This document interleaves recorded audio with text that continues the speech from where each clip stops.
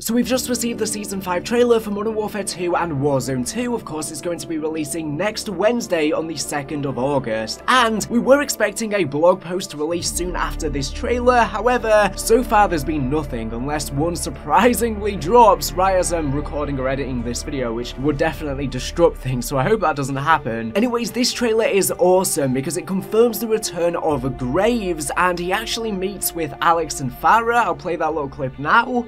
Shadow himself.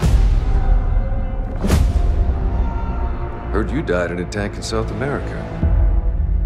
What else you heard? So somehow Graves managed to survive the tank being exploded by the Ghost team near the end of Modern Warfare 2's campaign. Now, he doesn't even have a single scratch on him, so I think he purposefully faked his death and probably just was never even in the tank and potentially even remote controlling it or something like that. I have no idea, but the line he gives to Alex is funny, basically just saying, you thought I died or so you thought. This season is all going to be Shadow Company themed because we know that there's going to be a Modern Warfare 3 live event to reveal the game inside of Warzone, potentially even in DMZ. And this event is apparently all going to be revolving around Shadow Company, who are going to be trying to infiltrate Observatory Tower in Al Mazrah to secure some missile silos as well as some gas. I don't know if that's Nova 6, and there is a bunker underneath Observatory Tower that seems to be probably where all of these armaments are being kept, and we're going to be going in this bunker during the event. And we do know that Observatory Tower seems to be getting destroyed during this event because we saw within the artwork the other day that it was destroyed in the background. Now, within this trailer, it is not only a Season 5 trailer, but it's basically a trailer for the Modern Warfare 3 reveal event as well because they tease Observatory Tower at the beginning, they say the lights are going out, and I do wonder as to why Graves is meeting with Alex and the rest of them. What exactly is going on there? There has to be some sort of reason for that, some sort of truce, and what I'm thinking right now, and this is just speculation, is the reason why Shadow Company might now try and be friendly with them is because they are working both together to try and stop Makarov and the Russian ultranationalists because if Shadow Company during this event are going to be trying to obtain these missile silos and gas, it's most likely because they want to stop someone else from obtaining them. Most likely Makarov and the Russian ultranationalists want to capture these, but they're going to try and take them before they can, and that could be what the event entails. We might have to side with Shadow Company for the greater good. As to where General Shepherd is, who knows? And although we only get a short clip, Alex and Farah seem surprisingly friendly towards him. After all, he did betray Task Force 141, so I don't know what that's about. Probably if they were actually there whilst he did the betrayal, they would have had none of it. Task Force 141 would have had none of it. Captain Price would have had none of it. So I don't know if there's going to be some tension building here now that they potentially might be working together. Now, Velikan is officially back from Shadow Company as well within this trailer. A lot of people are excited about this, of course. They went rogue within DMZ, but I guess that isn't canon. Something else we saw in this trailer is that a multiplayer map from the original Call of Duty 4 Modern Warfare is coming back, and that is Strike. We saw a little clip of it within this trailer, so that's going to be one of the multiplayer maps in this season. But what we actually receive in this trailer is we get our very first look at the brand new Warzone map Las Almas. So, Las Almas is apparently going to be releasing with Season 1 of Modern Warfare 3. According to Insider Gaming, and the full release of Modern Warfare 3 is supposed to be on November 10th with campaign early access a week prior. Season 1's apparently rumored to launch on December 5th. Of course, these dates are subject to change because this is just according to leaks, and it's not been officially confirmed just yet. But we already have a full map of Las Almas because it's in the campaign of Modern Warfare 2, and we already have a couple multiplayer maps in the game that is based in Las Almas that are going to be a section of this new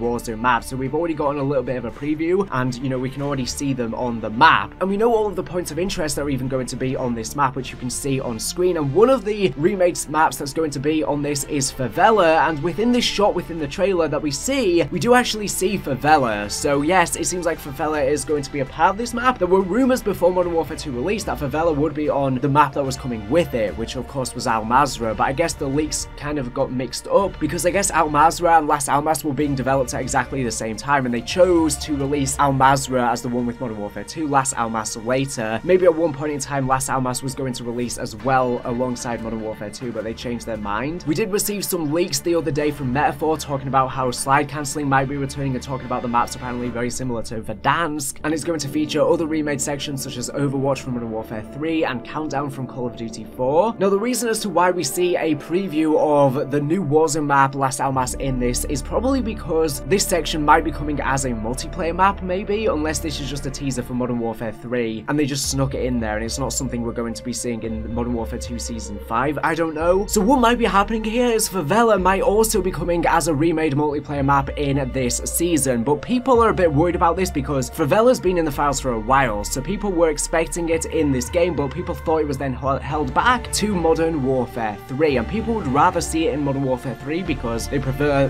what Sledgehammer Games are planning on doing with the gameplay systems and multiplayer, so we'll have to wait and see. It is also possible that they could have some remakes in literally both games. Let me know in the comment section down below if Favela returns, would you rather it in Modern Warfare 2 or 3? Either way, it's going to be a part of the new Warzone map. Now, like I said, we are currently still waiting for the blog post because apparently Activision are going to be revealing to us exactly what the Modern Warfare 3 reveal event entails within that blog post, so I don't know why it's not released yet. Of course, we still have the full Season 5 cutscene to be revealed, and I'm guessing that's going to give more information about the reveal event. Like I said, the reveal event is going to be right at the start of the season. Now, yesterday, they did accidentally post about Season 5 early on the website, and it mentioned reunite with a former enemy, who was, of course, Graves, and celebrate 50 years of hip-hop history, because there is a, an event for 50 years of hip-hop actually happening in the real world now, and we do know that 21 Savage and Nicki Minaj are apparently going to be coming as operators, maybe in Season 5 Reloaded, but that's not exactly celebrating 50 years of hip-hop, because they haven't been around for 50 years, so I don't know if there's going to be even more operators that might be coming. A lot of people want to see Eminem, for example, but that's everything we've learned today. Anyways, thank you for watching the video. Make sure to subscribe if you're not here for the latest and greatest Call of Duty news and information. So anyways, thank you for watching, and uh, bye.